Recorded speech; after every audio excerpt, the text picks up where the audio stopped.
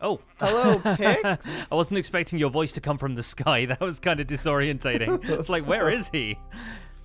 yeah, normally a pirate takes a boat, but I've been using my wings lately. Yeah, seems fair. Um, Sir Pix, I want to tell you that map that you just threw away at me ended up leading me somewhere really cool. Yeah.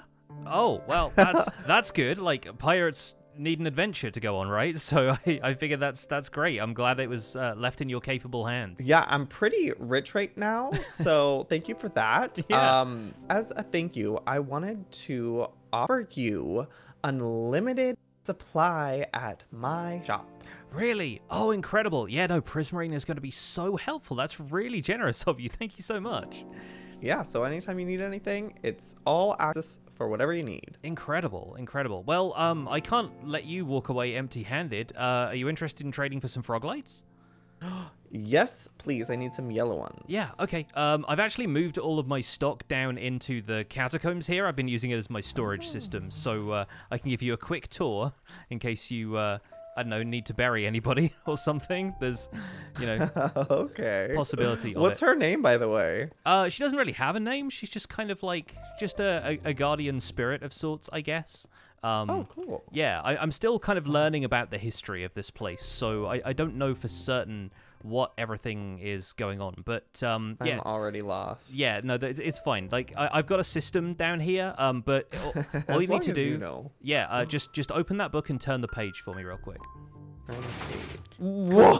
So, uh, so this is where I keep the frog lights. Um, I I always like it when new people get to see that. So, um, yeah, I have block swappers underneath all of the storage. So, like the rest of the time, it can look like a tomb and everything's all kind of like mossy Yeah. and overgrown. But then, because this is my storage system, I need to know where everything is. So, yeah, I just have like a little book that allows me to to swap them over.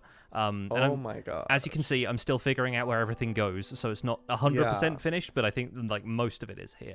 Um, I brought some prismarine. Um, oh, incredible! Thank you so much. And I know you really like emerald ore, so I brought some of that from Oh, my yes. treasure adventure. Oh, very nice. Yeah, no, I, I can throw that into the wishing fountain over at the Great Bridge later. But um, yeah, no, that's Oh, uh, here they are. that's the yellow frog lights. So I, I have a, a plentiful stock of these right now. So so help yourself. Okay, I'll take two stacks. I think that should be enough. Perfect. All right. Yeah, looking forward Okay. to uh, seeing those flying on the the sails of a ship, probably.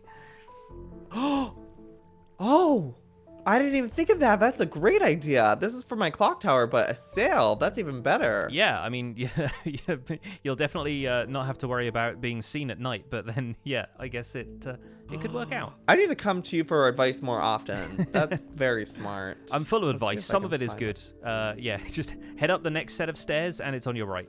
But uh, if you want to take a look around, there's uh, there's plenty to look at. Oh my gosh. Yeah, I'm gonna have to come back and just take a look around. Mhm, yeah, um, I promise I will never steal from you. Thank you. Yeah, I, uh, people were a little concerned uh, when I made this entire thing out of gold that they were like, you know, there's a pirate on the server, right? And I'm like, I've just hooked this pirate up with a treasure map adventure. I think we're gonna be good for a while. And, we're, and if, we're if aligned. and if you, and if you look carefully, it's it's basically just gold plated. Like some of the gold is even wearing off some of the blocks up there. Like it's just gold paint. So those probably aren't worth all that much anyway. Fool's gold. Yeah, that's what it is. It's definitely, definitely fool's gold. Well, thank you so much for the Ah. Prismarine. Enjoy the frog lights, and I'm looking Yes, forward to thank you, seeing what you. you. do with them. All right. See you later. Farewell. Take care. Bon voyage. Here we are, back on Empires, episode 11, and I believe, yep, I heard about this. Something has been left for me here in the entrance to the catacombs. A gift from Gobland, a mountain replacement kit. Excited to see what this entails. Let's quickly make sure there are no untoward surprises in here. Nope, didn't think so. Okay, you can never be entirely certain with the goblins. And oh, now this is cool looking. I like that. I like that. Bit of emerald ore. Could have just chucked it in the fountain, of course, but hey, not going to complain. And looking at all of this, this is looking pretty tasty. I got to say, we can we can definitely do a fair amount with this. Obviously, the mountain replacements is mainly that, and we've already buried the hatchet with Joel as far as that whole process is concerned. But I'm keeping the shrink wrap on the mountain just in case for the time being. But I will quite happily offload all of this into the system because it'll now get automatically sorted when I throw it all in here, and I'm pretty sure I have spaces for all of this stuff. And while it may not go to restoring the mountain, it's definitely going to come in handy for my next build, because as I mentioned in the last episode, we do have to do something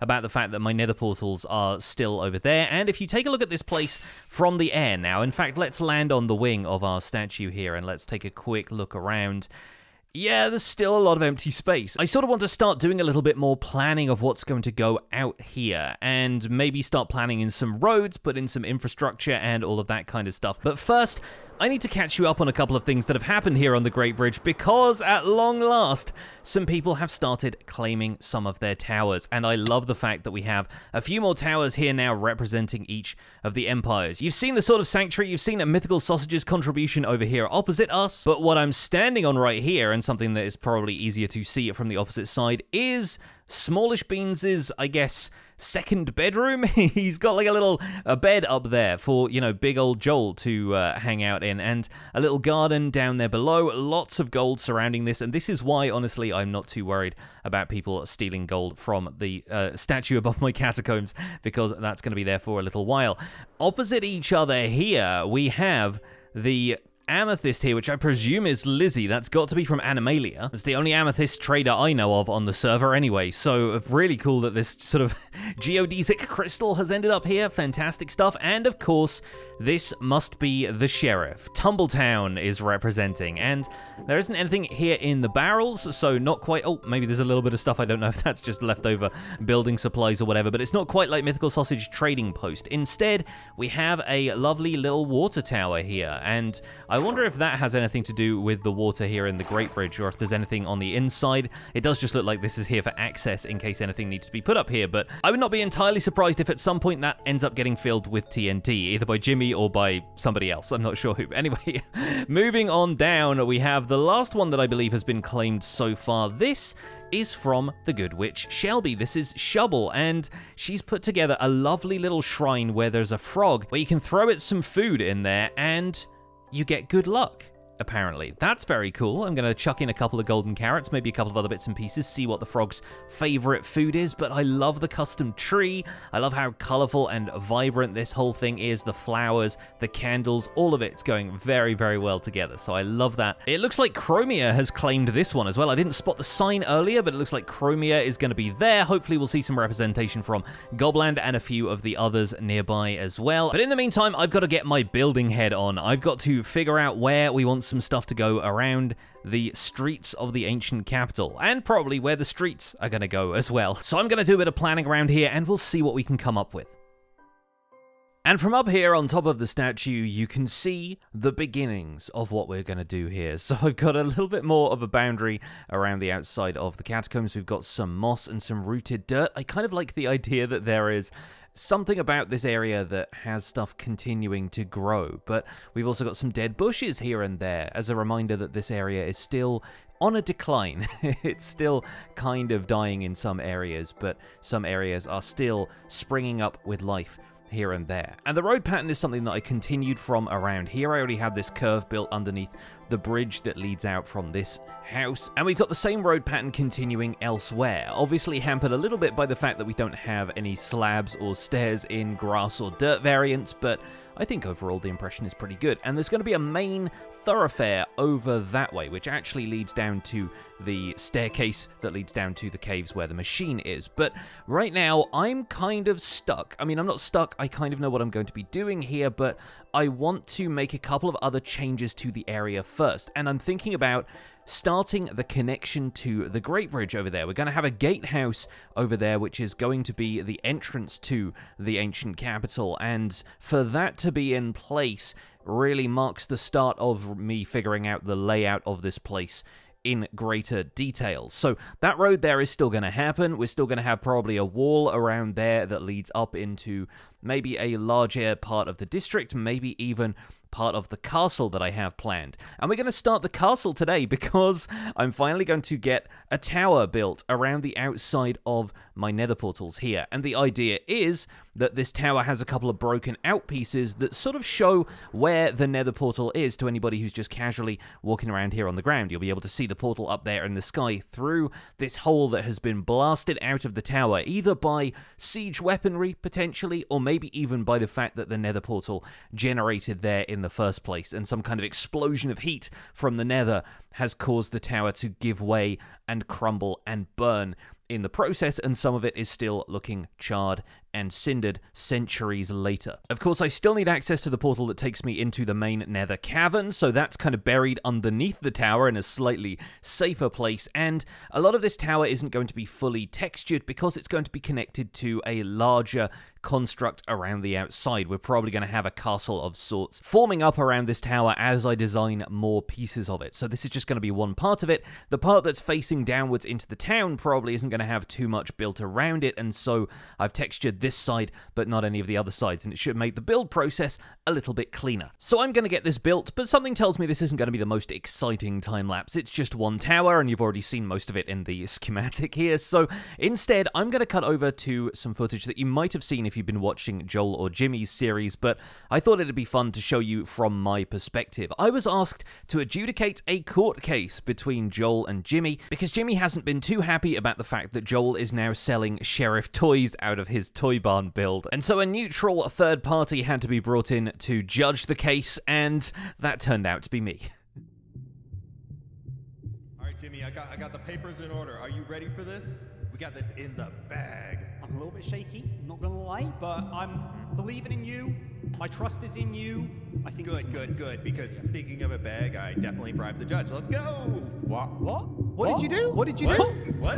What? What? What do you mean? What do you Let's mean? you bri- no, what do you mean before we? Come on in, sir. What do you- Jimmy, I Jimmy, think that's a right up idea. here. We are right up here. The small big claims court, right in here. Why is this small in caps? Why is Hello. Hey! Judge Pixariffs.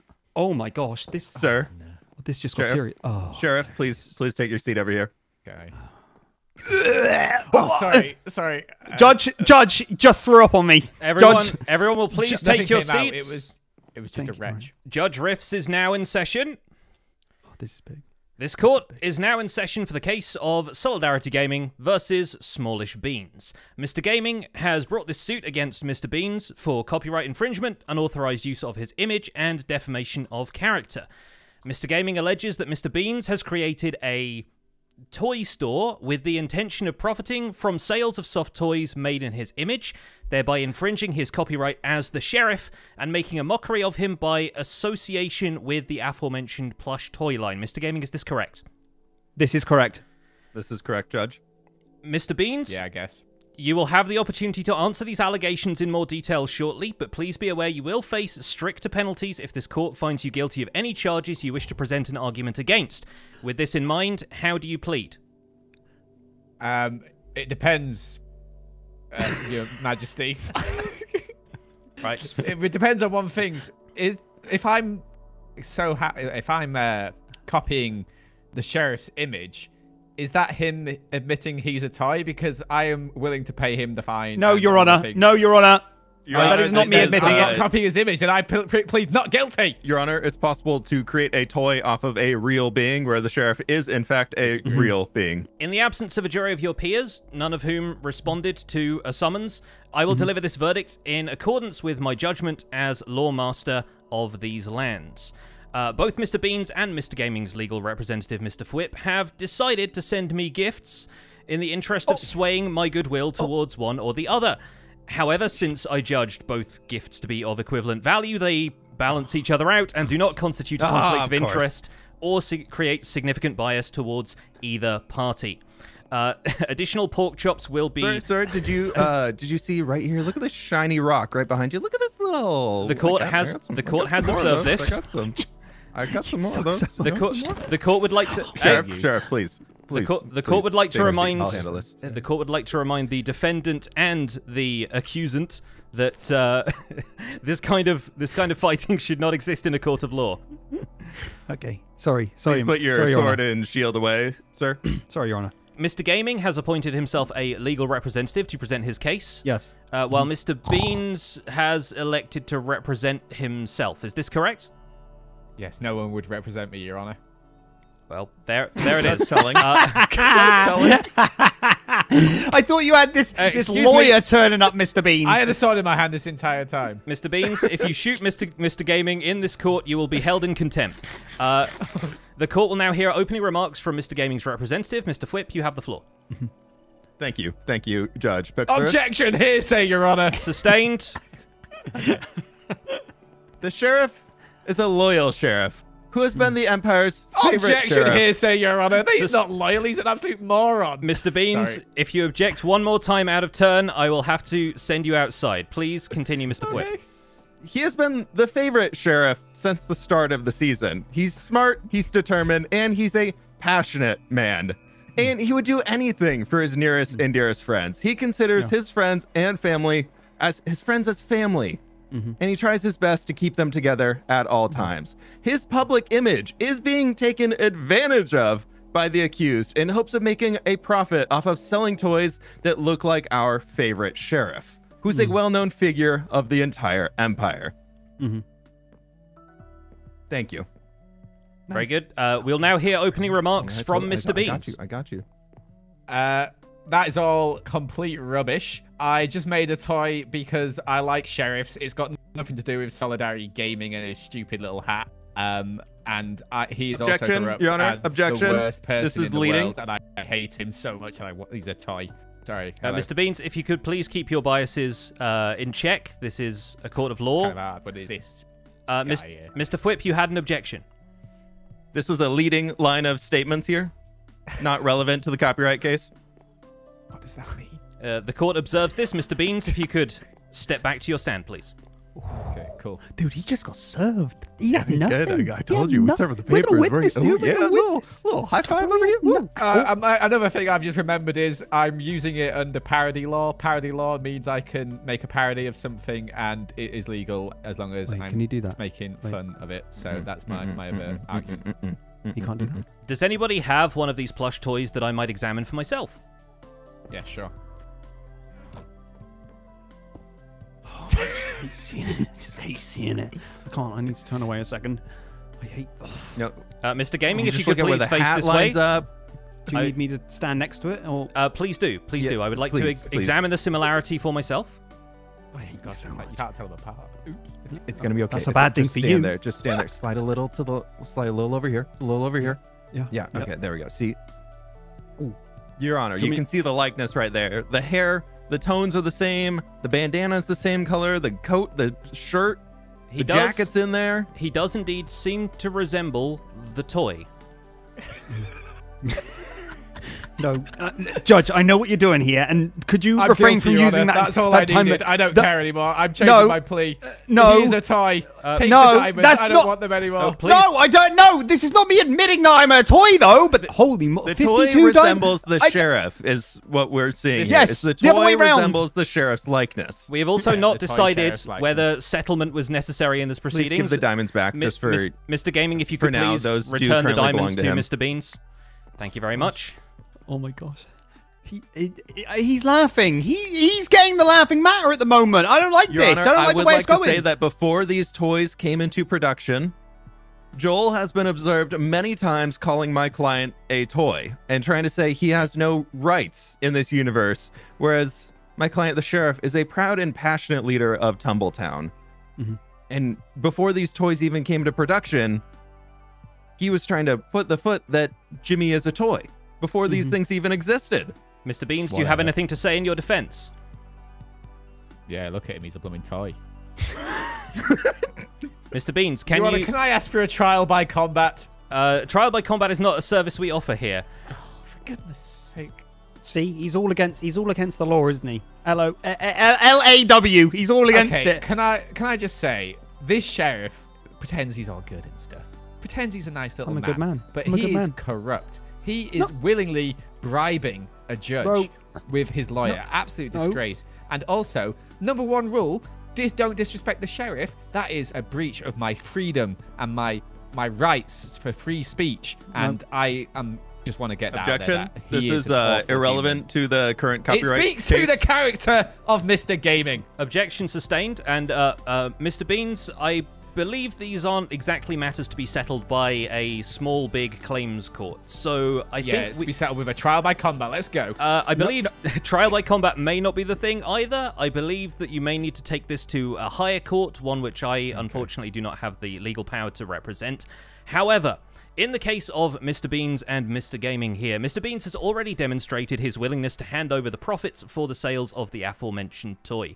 So I believe in this case, uh, I rule that Mr. Beans should pay Mr. Gaming what he is due, the full profits of sales from the toy store. But There you go. can you confirm that me accepting these diamonds doesn't mean I'm accepting that I'm a toy? But I, the, the toys are based off could- of me. That's Sheriff, not- that's- sheriff, uh, that's- sheriff, sheriff. that's it's his accepting can't that accept the that. toy was made in your likeness. Yeah, yeah, yeah, yeah. That's what I mean. Yeah, but yeah, this yeah, is, yeah. I'm The not toy is accepting that separate I'm a toy. Not, yeah. It's funny Yeah. you should mention Judge, that yeah? because the uh, the the next case we're actually judging here is um. What? Let me check my notes. Um, the case of uh, is Solidarity Gaming a toy? No, and, uh, let's- we're, we're gonna whip, be, whip. Let's get be out of this presiding one. over this Come on. Case think- with I Mr. think- Beans yeah, here we as won. the witness. Yep. Yeah. Because you know you can't win that one. No, uh, I'll leave. No, I'll leave. I'm not a little toy. I'm toy. I'm not. Jimmy, Jimmy, don't aggravate him. Who- don't aggravate him. brought Let's that just- case? Who put that Sheriff, case join the him? diamonds. Take the diamonds and walk. the Take the diamonds, diamonds and walk filthy on. Take the diamonds and keep on walking. Who? made of Who the put that case to. Pixel? Who put that? Thank you, Judge. Uh, feel free to take the Emerald Ore block back there if you would like to. You're more than welcome. Thank you very much.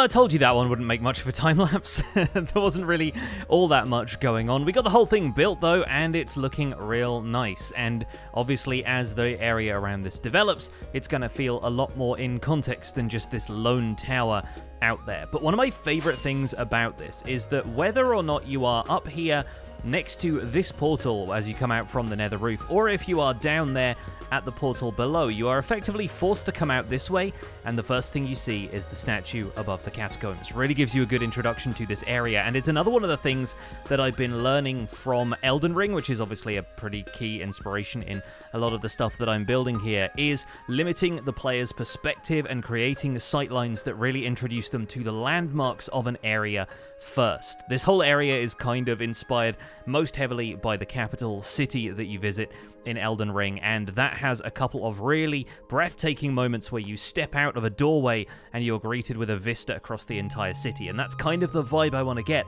for people visiting here for the first time. Not only that, but once they hop down from the portal and turn around, if there's a massive castle around here, they're really going to have something special to look back on. So that's one build out of the way, but I want to get a second one taken care of in this episode. And this one, I'm not going to show you right off the bat. I'm not going to show you the schematic of it. You're just going to get to see it take shape in another time lapse. But I decided it's probably time to build the gatehouse here that is going to lead through to the central road, the entrance to the ancient capital, and is effectively going to be my tower on the Great Bridge, really, because as we mentioned before, there are 12 towers, there are 12 other empires, so it doesn't necessarily leave room for me, but my stuff is all linked to this anyway, so it will make perfect sense. And a while ago, I started flattening out some of the hillside. I'm not sure I'm going to take away much of the hill today, but we're going to take away enough to build our gatehouse. And once again, we're going to do that in the form of a time lapse.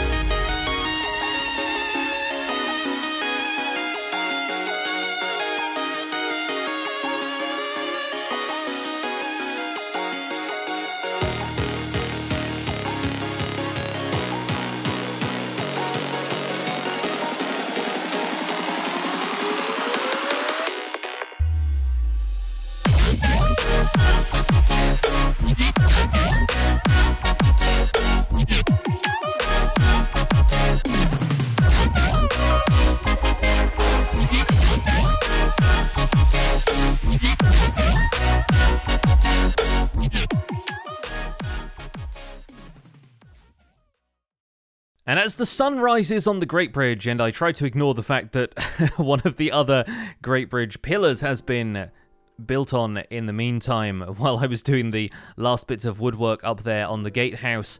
The gatehouse is complete with the doors here wide open. And I did have an alternative design where I wanted to have a portcullis here with a, a tree motif on it, kind of once again taking inspiration from Elden Ring, but that just had I had to, difficulty getting that to read. I really want to use the design somewhere else, but I'm not going to use it here.